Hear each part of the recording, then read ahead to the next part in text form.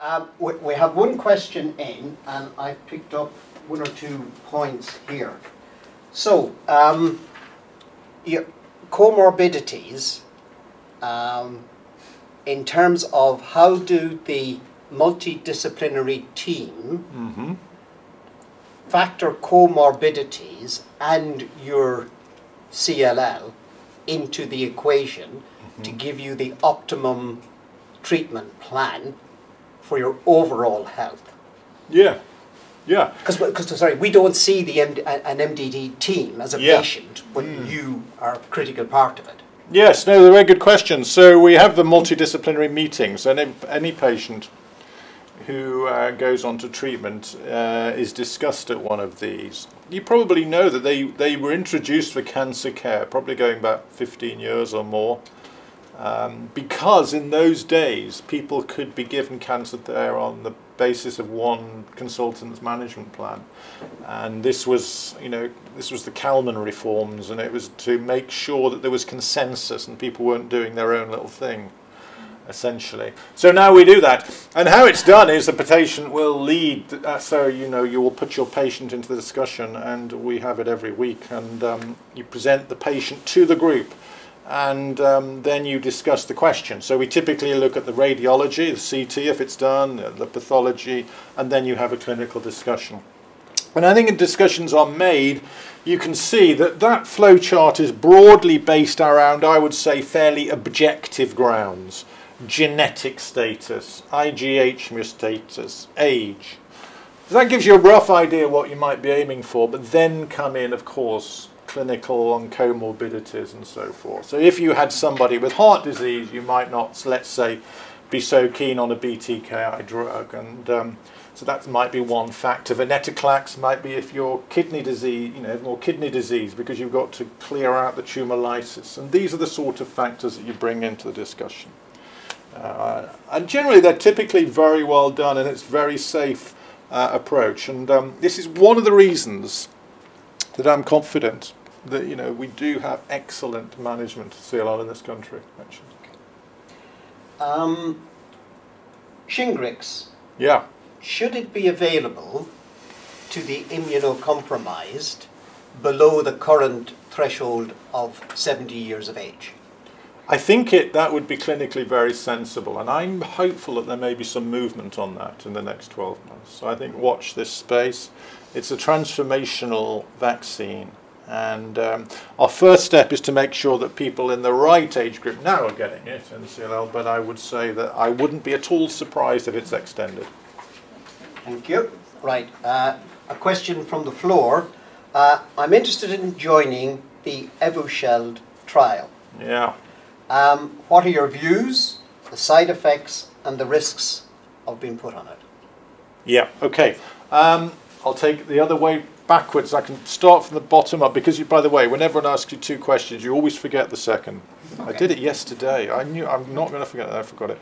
So um, the second part of the question was side effects and risks. I don't think there really are any significant side effects and risks, to be honest, as far as I can see. So this is a monoclonal antibody given every six months as an injection, and it's an anti-COVID spike antibody. It lasts a long time when we did the CLLVR study, many, some of which you patients here contributed to, we found that after four vaccines, 20% of people were not making antibodies. Hmm, not making antibodies. And the risk factors are people who've got low immunoglobulin, low antibody levels, no surprise. BTKI drugs, you know, talk about that antibody signaling, it, it damages that. And um, well, those are the two. uh, People actually were just going into therapy, but that's another story. Um, so 20% not making antibodies. But by the way, the vaccine is still great because it's also making cellular immunity. So please have your vaccines, whatever. But you would see that Evusheld ought to be obviously really valuable in that group because it's replacing the antibodies that you're not making. Now, of course, Evusheld has been assessed in trials and found to be effective. It's available in many countries. It's the one, I've said how good our care is, but I suppose I would have to admit that's perhaps the one weakness we've got, is we don't have NHS access to Evusheld. Yeah, and we still don't. It's available on private prescription. It's now a trial going on, but that's obviously going to take a long time to come through. It's a shame. Clinically, of course, the evidence and the value of Evusheld may get a little squeezed because well, two reasons. One is, I suppose, immunity is getting better because of lots and lots of vaccines, perhaps, but also because, as you know, the virus is mutating and changing away from all this sort of immunological pressure of the immune system. And so there is always concern whether Evusheld can keep up with the new virus variants. Yeah. yeah? Uh, I would say at the moment it's certainly effective against Omicron and um, it's probably a very good drug, particularly for patients with CLL. Remember, if you look at patients with immune suppression, which is where Evusheld might be used, we're talking about potentially half a million people in the UK because you're including all sorts of conditions. But patients with CLL, I would say, are towards the top of the need of that group. Yeah, definitely. Okay. Okay. Okay. Questions there? Lovely. Um, and this was an online question. Uh, what's the difference between pirtobrutinib and Nurix? Lyrics. Nurix. Oh gosh. Well, I'm glad you got it. Well, I was not the only one, but I'm not. I, I don't think I. They always say if you don't know, just say you don't really know. I don't really know. Um, what what I'm saying about BTKI drugs is that there are new drugs coming through. There is zanubrutinib and there's pirtobrutinib, and um, they will find a place. They're not really licensed yet. They're in clinical trials. Some of them are available in, in studies around the co- country for people who really are struggling with the current regimes that we have. One of the great things about these drugs is BTK ibrutinib, so it's lock and key. I don't know if anyone's from Wolverhampton, but I you know, there's a Chubb factory there. Used to make all the locks of the world. And so lock and key, shapes fitting together. If you've got your BTKI drug, ibrutinib sticks in that and it covalently, that means it fixes a bond. Remarkable. It cannot get away. Yeah, it's wonderful. And if you so if you were a chemist in, in GSK or whatever, they didn't make that drug by the way, but you know, if you're a chemist and you've got a drug that sticks and forms a bond, you think brilliant. That is a wonderful drug, and it is a wonderful drug. Some of these new drugs, like pirtobrutinib, they have a slightly different action. They, they bind to the BTK, but they, are, they reverse, they don't stick on.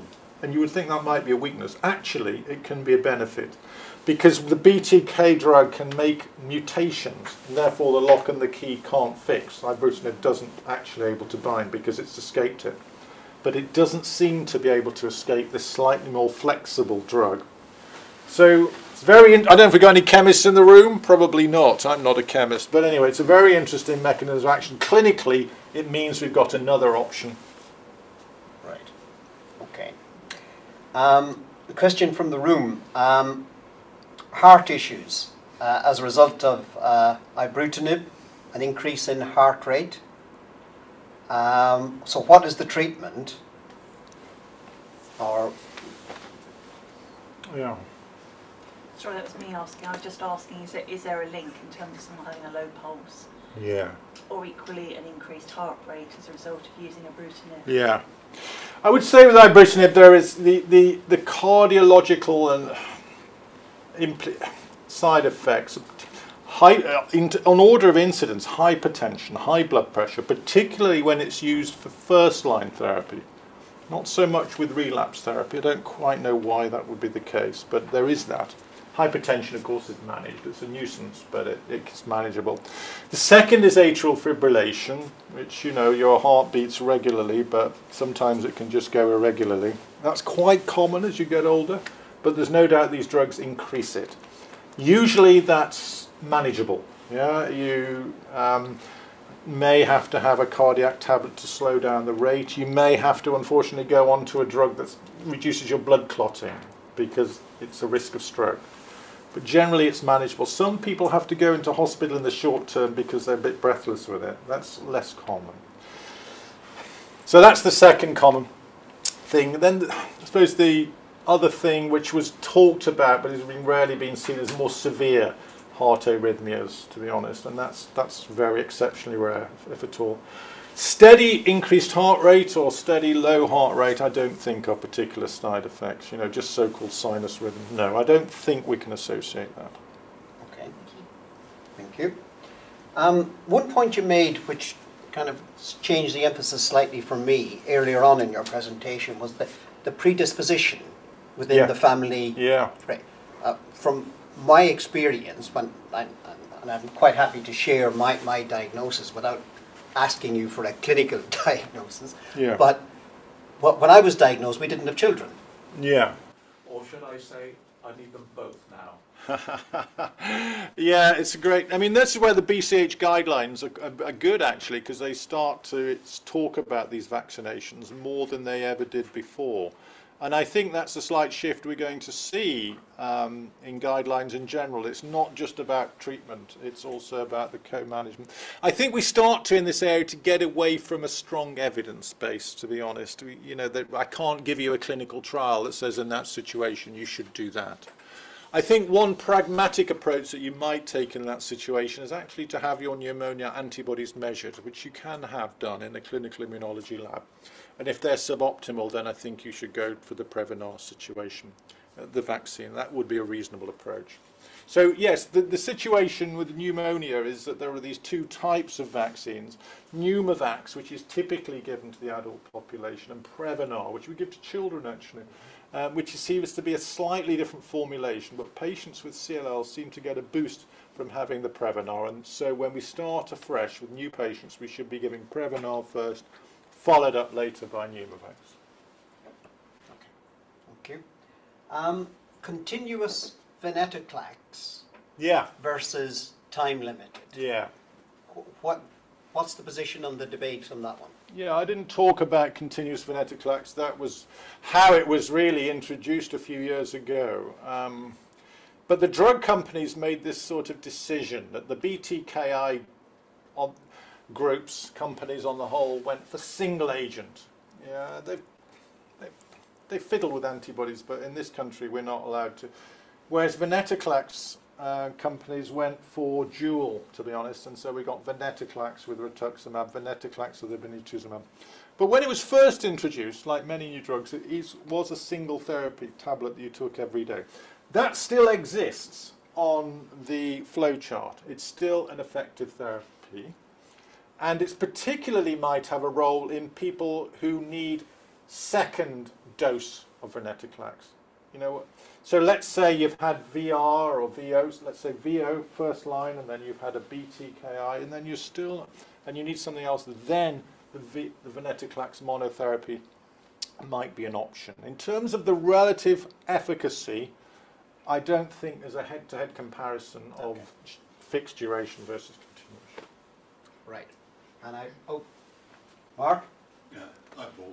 Hi. Um, I spend a lot of time as a trustee with the pharmaceutical companies, Yeah. particularly the big five in the area. Yeah.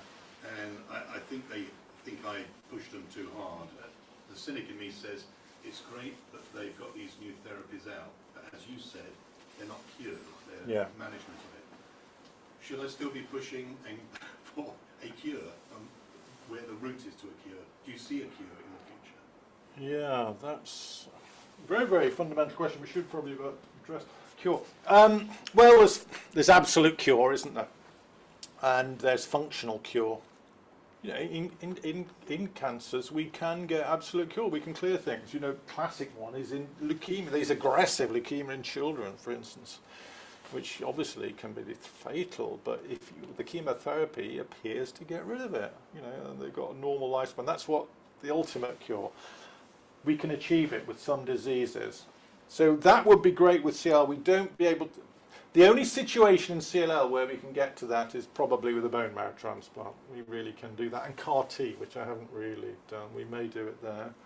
I hinted at it with the chemotherapy and that, remember that mutated thing? There's debate about that.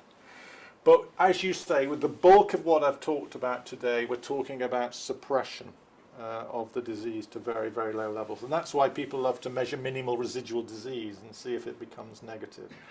That's still not the cure that we really, really want, I don't think. It's functionally a cure, but it's, it's not the same thing. What would it take to do that? Well,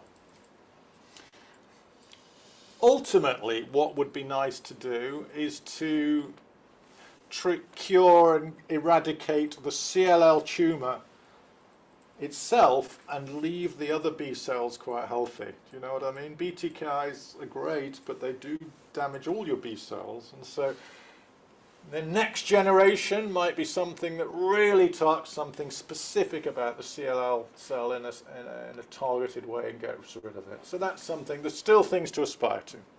Thank you, Paul. Okay, thank you very much.